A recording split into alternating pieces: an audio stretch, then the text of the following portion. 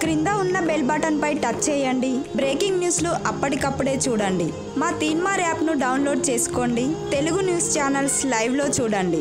మీరు ఏ న్యూస్ పంపాలన్నా కింద ఉన్న కామెంట్ బాక్స్లో పోస్ట్ చేయండి. Teenmaar news editor Rajendra Prasad Bandaru. Kadem project ఖాళీ అయిపోవడమేనా? కడం ప్రాజెక్టు రెండవ నెంబర్ గేటు కౌంటర్ వెయిట్ పడిపోవడంతో వృధాగా పోతున్న నీరు. రైతుకు మద్దతుగా కాంగ్రెస్ నాయకులు మరియు రైతాంగ పోరాట సమితి నాయకుల ధర్నా. గత ఐదు రోజుల నుండి రాష్ట్ర వ్యాప్తంగా కురుస్తున్న అతి భారీ వర్షానికి నిర్మల్ జిల్లా కడం ప్రాజెక్టు అతిగా వర్షపు నీరు వచ్చి చేరడంతో నీటిపారుదల శాఖ అధికారులు కడం ప్రాజెక్టు పద్నాలుగు గేట్లు ఎత్తివేసి గోదావరిలోకి నీటిని వదులుతున్న క్రమంలో రెండవ నంబర్ గేటుకు గల కౌంటర్ వెయిట్ కింద పడిపోవడంతో గేటు పూర్తిగా వంకరగా తిరగడంతో పదివేల క్యూసెక్కుల నీరు వృధాగా పోతుంది. ఇదంతా అధికారుల నిర్లక్ష్యం వల్లే నీరు వృధాగా పోతుందని పలువురు రైతులు అభిప్రాయపడుతున్నారు.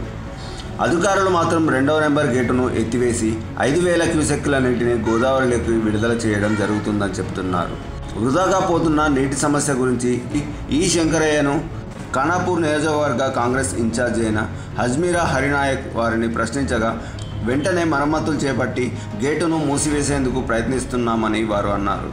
రెండవ నెంబర్ గేటును వెంటనే మరమ్మతులు చేపట్టి మూసివేసి రైతులను ఆదుకోవాలని పలువురు రైతులు అభిప్రాయపడుతున్నారు.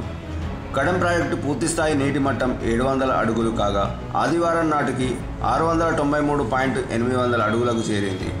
ఇన్ఫ్లో నాలుగు వేల తొమ్మిది వందల ఇరవై నాలుగు క్యూసెట్లు కాగా రెండవ నెంబర్ గేటు కౌంటర్ వైట్ పడిపోవడంతో ఐదు వేల ఒక వంద పాయింట్ అరవై తొమ్మిది క్యూసెట్ల నీరు వృధాగా పోతుంది.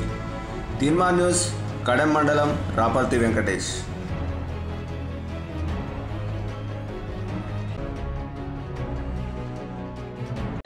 అధికారుల మండి వైఖరి. అధికారుల మండి వైఖరి. గేటును వెంటనే గేటును వెంటనే గేటును వెంటనే గేటును వెంటనే అధికారుల నిర్లక్ష్యం. అధికారుల నిర్లక్ష్యం. అధికారుల నిర్లక్ష్యం.